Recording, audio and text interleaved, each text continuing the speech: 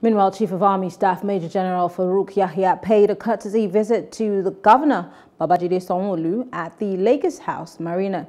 He commends the governor for the huge task of overseeing sensitive state with air, sea and land borders successfully and his friendship with the Nigerian army in Lagos.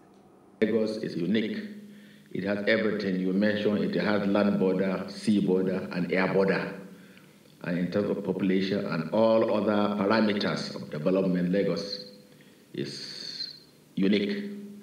And that's why now the synergy is required between the army, other services, other agencies, including other stakeholders, including community leaders, opinion leaders, uh, so that together we can harness particularly information sharing and synergy so that uh, we can enhance our operations we are indeed um, grateful that in the last four or five months that you have um, taken over the leadership of the Nigerian army, that indeed we've seen all of the efforts, you know, very strategic efforts that you've started bringing in. And we know that at some point in time, it will get to our turn in Lagos for you to come and have a look at your men and see what they're doing. And so we want to welcome you to Lagos want to welcome you to the states of aquatic splendor.